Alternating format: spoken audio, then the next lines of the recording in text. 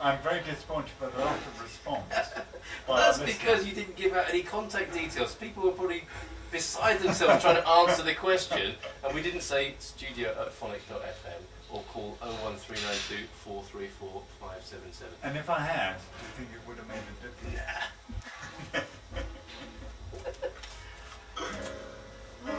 Wow! Exciting. Well, the last day of my nutrition course, we, um, we covered non-verbal, non-violent communication. Yeah, yeah. Are you happy with this, Claire? Yeah, Because it's yeah. turning into a bit of a you know, No, no, no, general loads, loads of what Hillary's talking about relates, for me, relates back to raw food. Fantastic. You yeah. seem quite rapt in your attention. Yeah, no, I'm excited.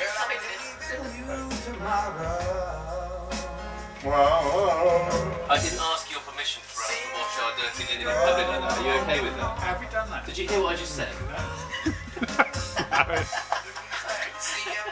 What that why you're eating? You haven't got your fan, have you?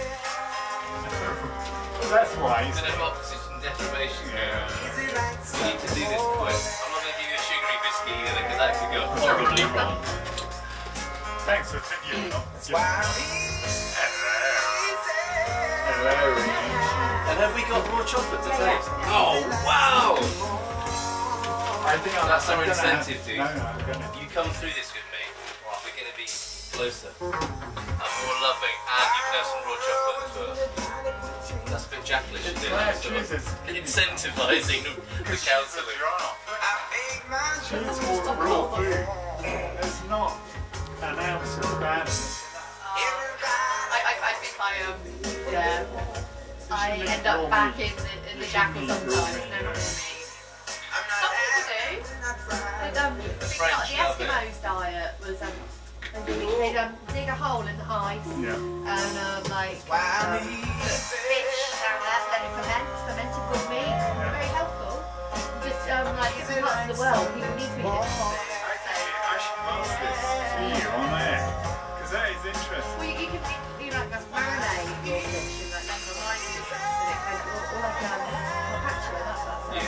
Yeah.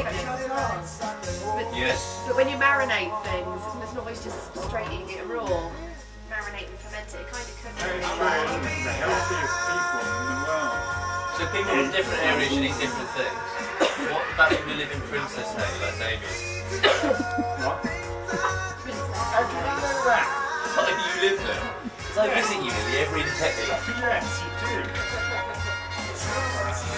Cole, the, the, the Commodores, anything to say about the Commodores? Yeah, that um, Lionel Richie looks quite like a sheep. He does. He does, yeah.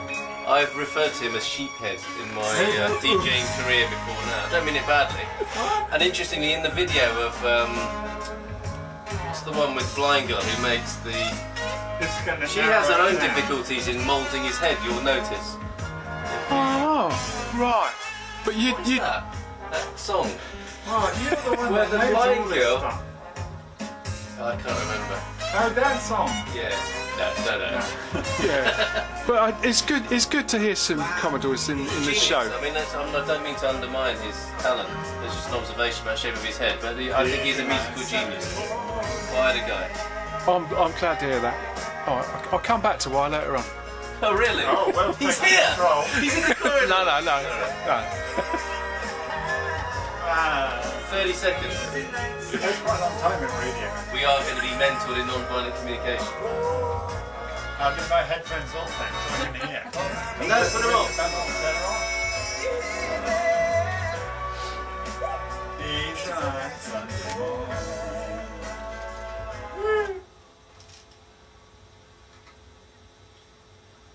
Easy by the Commodores. That's for you if you went ooh at the same time as Lionel Richie I during that didn't, I track. did go ooh, but a long time. Right. So mm. we return, dear listener, to Damien and I being coached through our issues. Yes, non-violent communication. Yes, which And I'm going to really tease you by talking over top of you, interrupting you, and see if you get eggy with me. that is not the purpose of this next segment. You've already done that. Let's, let's just let's just say we've done that. But yeah.